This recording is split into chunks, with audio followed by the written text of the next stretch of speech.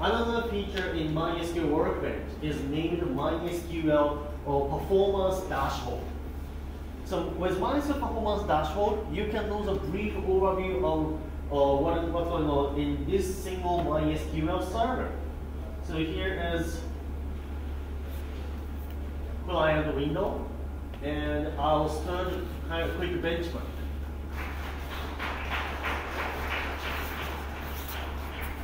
By the way, MySQL has a, small benchmark tool named MySQL Slap. So we can slap MySQL. and automatically generating a SQL statement with option dash A, iteration, and concurrency. So now uh, this client, uh, benchmark tool is slapping MySQL. First phase is loading sample data, then uh, uh, firing a lot of select statements. So let's back to the dashboard, what's going on. So we are seeing several uh, changes from the previous screen. On left hand side, there are new connections coming in. So graph see some spike, and client server is receiving and sending some record because data select statement it was 1,000 selects uh, instance coming in, and uh, roughly 300 selects from this uh, benchmark client. So we can instantly know uh, the uh, situation of this MySQL server. This screen is a bit light, so uh, some uh, number of slides is not, not visible well, but you can see clearly on, on your screen for sure. And how much uh, table cache is used, table open cache used, or uh, database buffer, uh, data buffer, how much data buffer is used, or uh, redo log uh, operations, and so on. We can see this single screen MySQL workbench. And you will learn, you will learn more details uh, from 2.30 p.m. in this room, which is in the MySQL performance schema, which tells you every single details of the MySQL server's internal operation to help you to tune MySQL server. But you can get an uh, overview of performance schema, which in MySQL Workbench is named performance reports. All this information is based on MySQL performance schema. So at the, uh, after my session, and one more session will go two, from 2.30 p.m., you can learn how these data are built with. But with this performance report, you can instantly know which query is doing, uh, which query is executing executed the most, which queries has a full table scan, so one of the worst operations in database, and how much data transferred, or how long it did take, and so on. You can see from this single screen MySQL Workbench performance report. Again, good news is MySQL Workbench is licensed under GPL. It's free to use, free to redistribute. Nice. So, uh, I strongly recommend if you're using MySQL, this is the right tool to use. Okay, so this looks like pretty much a good time to start talking about my main presentation. You missed that. You missed that? Yeah. Uh, yeah. Okay, uh, so Ryuk uh, Hajiyama, uh, am I correct? Newscape. so from Analyze MySQL, so the- uh, we'll be talking about MySQL cluster as a transactional NoSQL. So uh, please welcome. Uh, sorry, I'm sorry. This is uh, Ryuk uh, Hajiyama. Hajiyama. Yeah. Okay. Yes, I know many people have a difficulty to pronounce my first name. Uh, it's pronounced as a Ryusuke. Music. Okay. okay, so I'm from MySQL. Uh, today I'll introduce MySQL NoSQL and MySQL, uh, NoSQL and SQL in MySQL cluster. As you may know, MySQL is database, so which speaks SQL statements. That's kind of a basic understanding of, of MySQL. But today's MySQL, several server feature, MySQL server, MySQL cluster, both database server also speaks NoSQL. So I'm going to introduce what we can do with uh, MySQL's NoSQL features, as well as what is the advantages of the MySQL or, or NoSQL features. Especially we focus on MySQL cluster. So MySQL cluster is a different product from regular MySQL server. MySQL cluster is a distributed or shared nothing active-active database cluster. Based on the technology of MySQL server, but we added more features and changing the behavior of the uh, storage engines of MySQL and built up the MySQL cluster. And now MySQL cluster is used as a one database cluster, two transactional NoSQL. So let me explain what it does mean. One product has two big main features.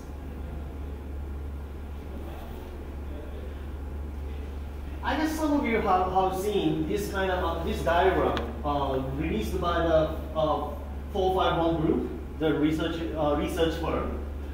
There are lots of different type of database uh, data management solutions. So this you know split uh, into several different categories. For example, MySQL server is uh, recognized as a relational and operational database. Operational means more like an OLTP operations. Other famous data management solution nowadays, popular one, can be Hadoop. Hadoop is usually recognized as a NoSQL. Yes, it is one of NoSQL solution. But is Hadoop can be the backend database of the online game. It can be the uh, backend of the uh, real-time data transactional operations. Short answer is no. My Hadoop is really strong in this area. So you may not be able to see. Here's Hadoop. Analytics.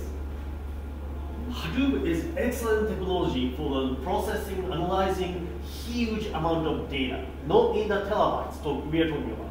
Petabytes of data, we can analyze data easily with Hadoop. So the MySQL server or Oracle database or any kind of uh, traditional database is quite away from um, analytic layer. Oracle is recognized as uh, can be analytic and operational. I don't know if it's true now, but and this is another story here on left hand side. Truly the non-relational storage. There are a number of new uh, features, new technologies coming in, but this one is interesting name here. New SQL.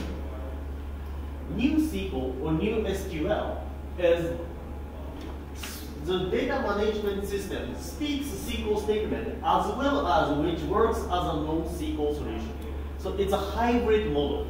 Not only MySQL, there are some other solutions that are here, but MySQL cluster is recognized as a new SQL and operational solution.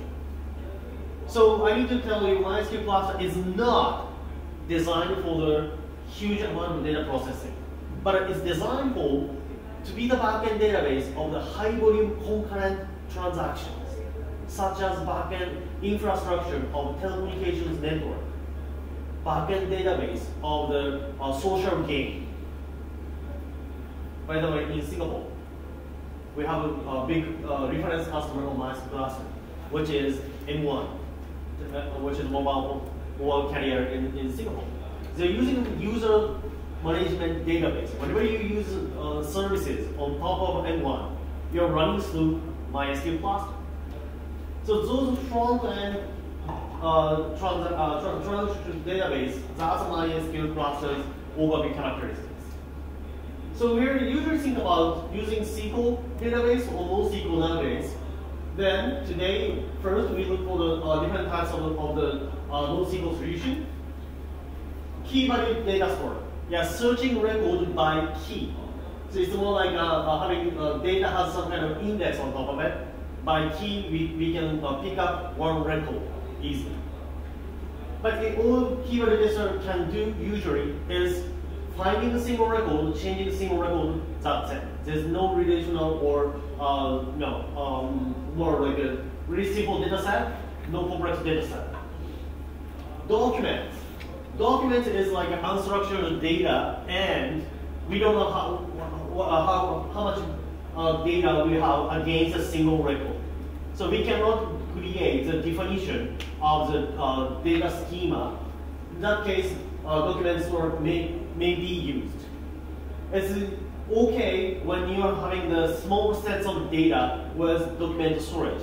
But once your data is growing bigger, maintaining the document storage is will be nightmare. If you want to know details, I have more concrete example, but I don't have it right now, so I can explain the booth outside. But document storage can be good for the, uh, some small scale application and it really requires a flexible data format. Graph is completely different aspect of the data, data management. It's not nothing relational, it's not really a document, it's more uh, simple data sets. We need to know the relations of the uh, people. So it's why we use it in the social network for the social graph and so on. So today I'm talking about MySQL cluster, which is not a graph, which is not document. It's a can work as a key value data store. So there are several different types of NoSQL, but MySQL cluster can work as a key value data store, which also speaks SQL statements. But why do we need a NoSQL? There are several reasons. Scalability. So RDBMS has a, uh, should have some uh, scalability, but uh, it's not easy to scale. Updates. Perform scaling, uh, scale, uh, sorry, the scale of the data changing is always a big challenge. So MySQL cluster is originally designed to be the right scalable database cluster. I'll show you why, uh, how we have done. We also need an absolute performance. Of course, you know, the, the front-end database must be high performance all the time. Another thing is HA, high availability, fault tolerant.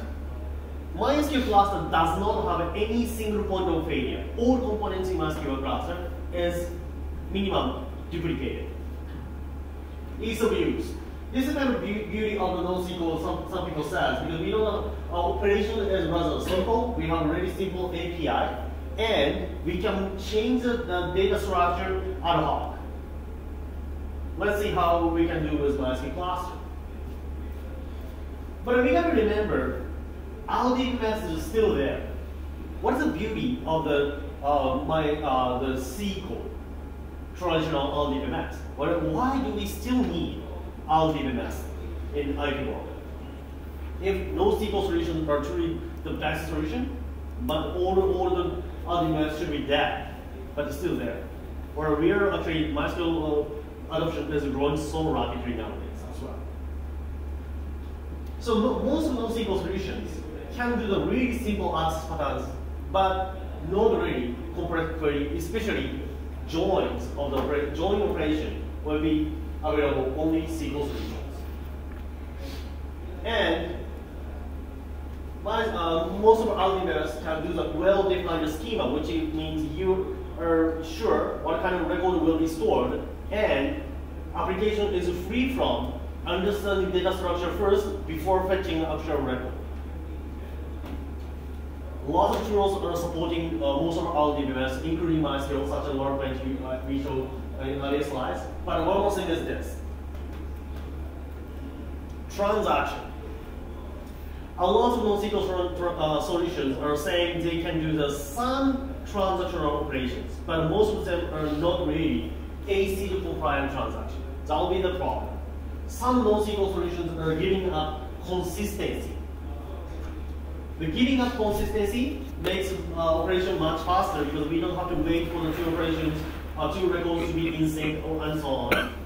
But uh, from data manager, in RDBMS can be DBA, those who are managing data, lack of consistency is a kind of a nightmare. Even if it's a social game, online game we are building up the system, there's two records, player number one's point, player number two's point. If player number one won against player number two, the points will be transferred from, from player number two to number one. But if that data storage did not have consistency, point of the player number two can be minus. Player number one still don't get that point. It's already minor trouble, and today's social game is not quite often linked with uh, real money as well. So that will be in big, big trouble in the uh, business of all those gaming companies as well. And if you don't have any consistency or durability, you'll never be able to step into the real business critical, mission critical applications. So MySQL cluster has a uh, face of the original implementation is built as a uh, targeting these kind of characteristics. MySQL cluster does support ACID compliant transaction, of course, but it can do the uh, it can reach to the scalability, performance, HA, ease of use, which available in the lots of NoSQL solutions in the same time. So this hybrid solution, MySQL clusters has the characteristics, benefits of the SQL-based RDMS and NoSQL core products. Then let me move on to the more details. So MySQL cluster is designed for the highly scalable write operations. And it doesn't have any single point of failure. By default, it works as an in-memory database, so it has a real-time performance. But let's move on to the more te te technical implementations. From your application, you speak with MySQL server using SQL statement. When you're adding one record, insert, data will be duplicated into servers named data In MySQL cluster, this MySQL server does not store any of your application data. Data will be stored in data nodes, and always data duplication happens here. For the scalability, we can add more sets of data nodes, and we can scale the size of data and distributed workload of access to data. We can add more MySQL server in front or backend in data nodes. We can scale throughput of the entire cluster uh, layout or scale the size of the data of MySQL cluster. MySQL cluster does not have a single point of failure because front-end API MySQL server, the two components, data nodes, there always data is duplicated. So even failure of one data node, data is still exists in another node. Then, come to the discussion of flexibility of schema. Some NoSQL solution has a really flexible data layout. MySQL cluster as a database, or even if using a NoSQL solution, we can add nodes online without stopping applications. So extending expanding the uh, platform for the MySQL server for the throughput or data size for data nodes, you don't have to stop any. Or changing schema, right here.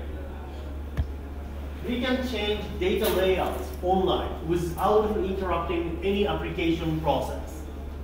So MySQL cluster is not schemaless, but it's really flexible. It does have a really flexible schema you can change the table definitions online. You want to add more columns, changing the column names, adding the indexes on, on top of the table. Everything is online, real time. Not only the uh, table schema, we can change the server configurations online. Because all components in MySQL cluster has minimum uh, two components.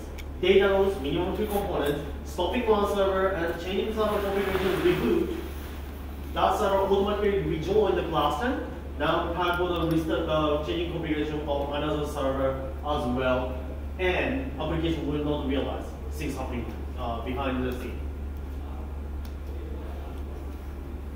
So let's check the performance of MySQL cluster.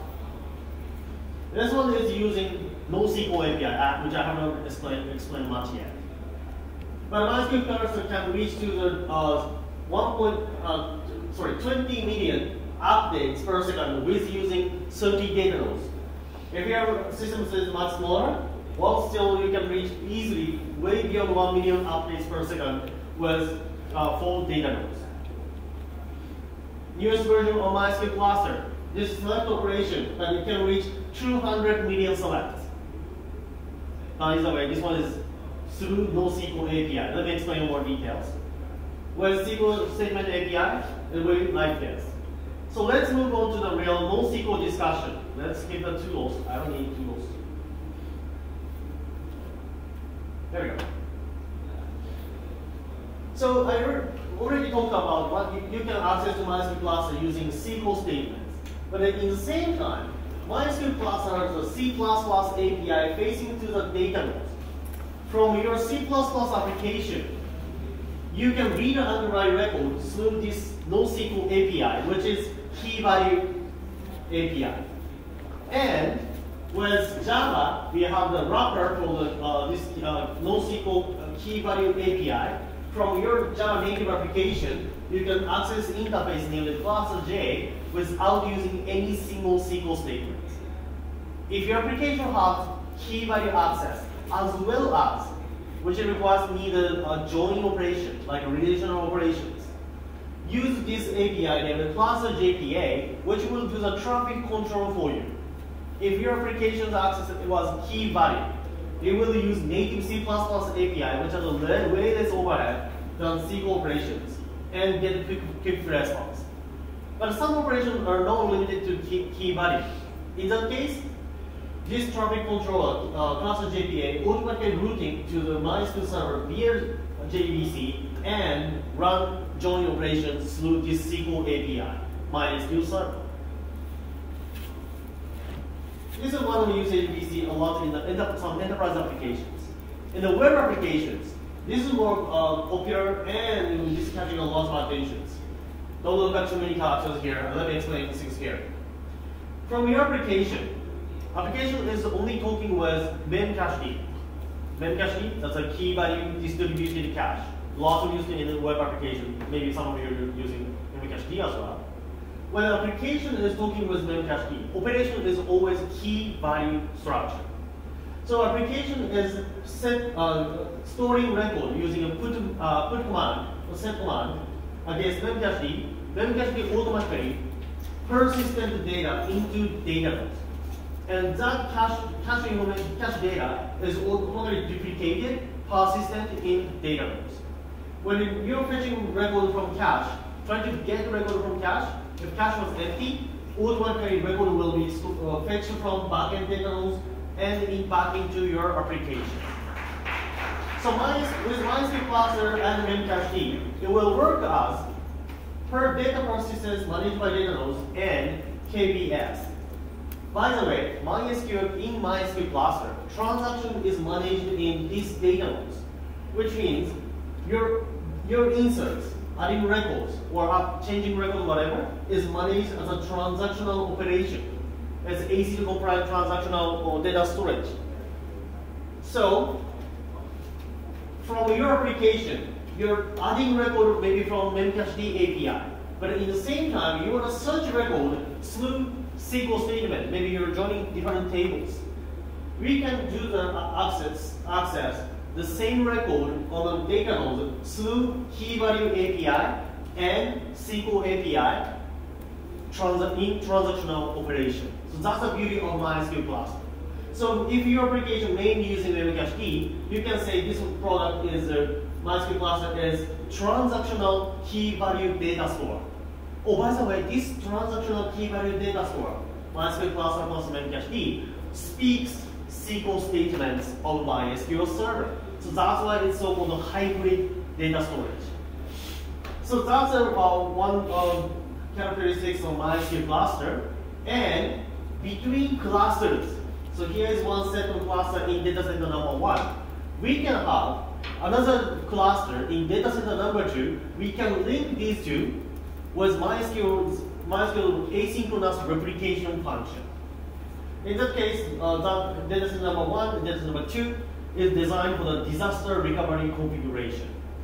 And also, this re replication feature is not limited to not limited to from cluster to cluster. We can do the cluster to regular MySQL servers.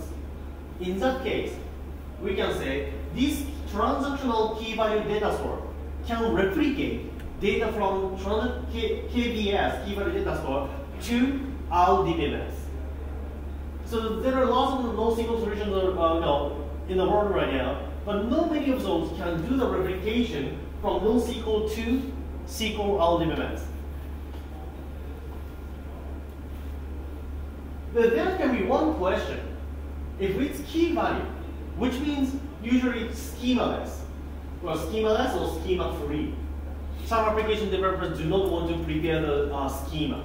Just want, I want to uh, develop application right away. I don't want to think about schema too much. Or sometimes skill is missing in some application among some application developers.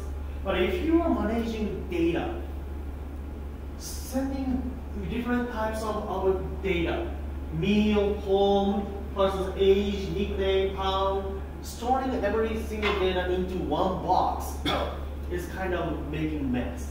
It's not easy for us to find out right information from, from the right place. And searching, perform searching performance can be really low. But it's happening a lot. So one way of how MySQL cluster store data, key and value, everything into key column and value column of the, the one table. That's one way. That's a regular value data store is always doing. Well, that's a schema less or schema free. But uh, if you are managing a, a database, uh, from the database management point of view, you feel like you want to use proper tables. So in MySQL cluster, we have the one configuration table in the configuration of MemcacheD plus MySQL cluster, and there's one rule we need to ask the application developers. Please have prefix in your key. Prefix is kind of the category of data. Then, in the configuration table, if prefix was this, table named mapzip will be used, and count current to be the key, and value will be stored in code column of this table. Depending on the uh, prefix, we can control the, the access to the different tables. So that's a kind of a hybrid usage of the key value applica uh, application, uh, sorry, key value application and regular SQL-based data management. So that makes it easier for the hybrid access. If you're uh, adding a lot of information from key value uh, fashion, you can search data still using SQL statement-based operation.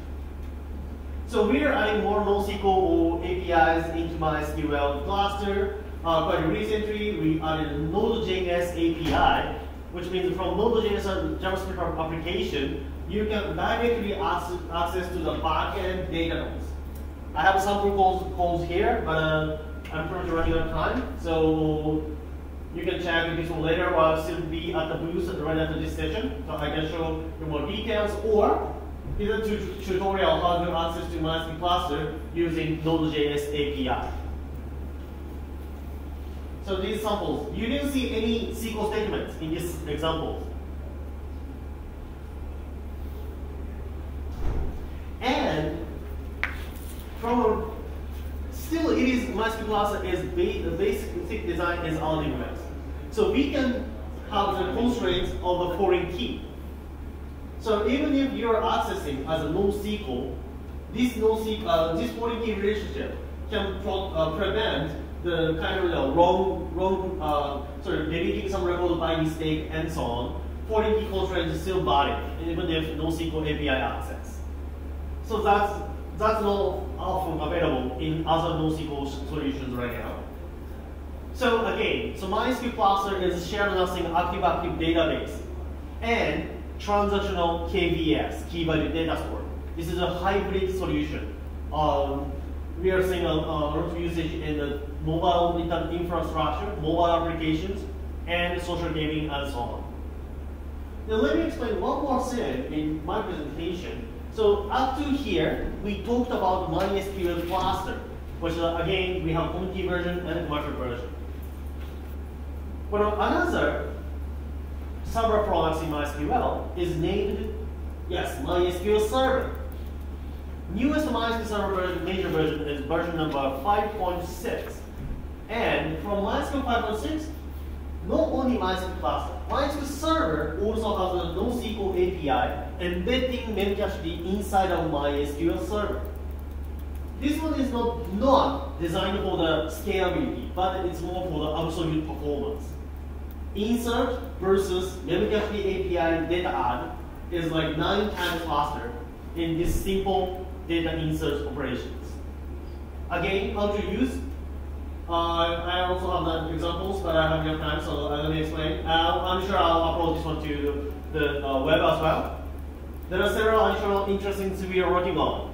MySQL server will speak HTTP, and you can post JSON data structure into MySQL, and MySQL server reply in JSON format. data store, uh, storage is still table-based, but an API, we can use a NoSQL. Even, it's kind of scary for me, I, I, I usually don't recommend to use this. You can write SQL statement in the URL, http colon slash slash server address colon 8080 the phone number slash SQL slash schema name of MySQL slash select blah. MySQL will return results of select in JSON form. If you're interested, you can download from labs.mysql.com and you can uh, play with this one. Another thing we are working, currently working on is JSON SQL function. You can store JSON into MySQL server and search, replace record, appending some information, removing some components within JSON. There are lots of things we can do, like uh, merging different uh, components, in, uh, documents into one, or uh, more like these are more like counting uh, records. These are also available in the MySQL laboratory, labos.mysql.com. With these SQL fun uh, these functions, if you store JSON data and you want to replace some components, just use yeah, this one. So MySQL can be kind of uh, document database, which is designed for MySQL server right Well, it's, MySQL server is not really optimized the document store. But if your document documents and also huge, this is a good idea to use MySQL or server still as a uh, document database. It may not show the extreme high performance because MySQL is, is a fully optimized RDBMS. But we are working on these kind of things, including Z, uh, JSON SQL function, previous screen, HTTP plugin, MySQL to be kind of an interesting solution way beyond regular RDBMS. So this is uh, things we are working on as of today. Then uh, quite recently, we announced MySQL Server 5.7 0.6 DMR, which is the next major version of MySQL Server, which is we are working on. So we announced MySQL cluster, uh, uh, uh actually early this month. Uh, MySQL cluster now became 7.4. Version 7.4 is a major version, and MySQL Server we made it. We made a uh, final uh, milestone release, and in the document of this it says RC to be soon, release candidate to be soon. So please check both MySQL cluster and MySQL server. Again, MySQL workbench as well. I really you love this first first my operation, cleaning up a SQL statement. Okay, so that's pretty much for the MySQL cluster presentation. Thank you for joining. So does anyone have any, any more questions for view, views, views? Okay. Take it right. Yep. Any, any questions? No. So otherwise, then thank you. Um, thank you, Mr. K. Thank you so much. Right. Gotta wait for next speaker.